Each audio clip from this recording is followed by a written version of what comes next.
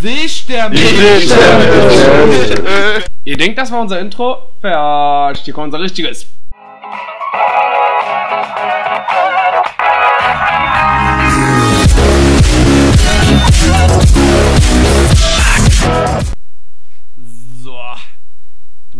Zeig, mach ich mal so.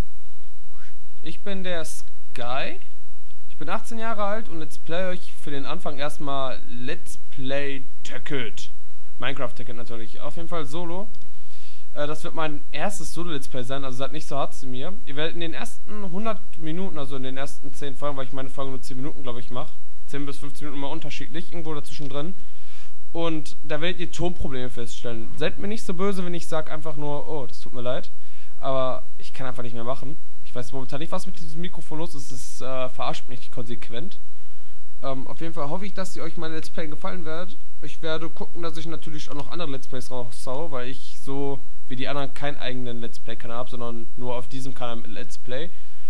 Und falls ihr irgendwelche Tipps habt, was ich in Let's Plays besser machen kann oder anders gesagt, was ich überhaupt tun soll, dann schreibt einfach in die Kommentare. Ich reagiere eigentlich sehr schnell drauf.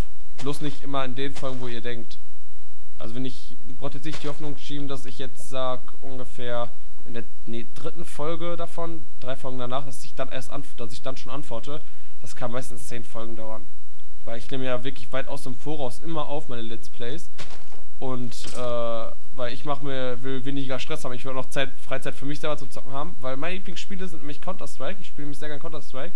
Nebenbei eben hier Minecraft auf äh, eigene Maps, auf äh, ganz verschiedenen Servern.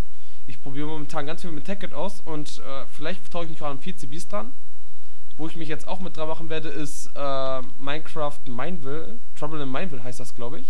Und an äh, Minecraft The Wall. Das habe ich jetzt schon ein paar Mal gespielt. Ist zwar recht cool, aber ich glaube, mehr als ein, zwei Mal hintereinander kann ich das nicht spielen, ohne gleich irgendwo abzurischen, dass ich immer am Verlieren, weil ich habe das Spiel noch nie gewonnen.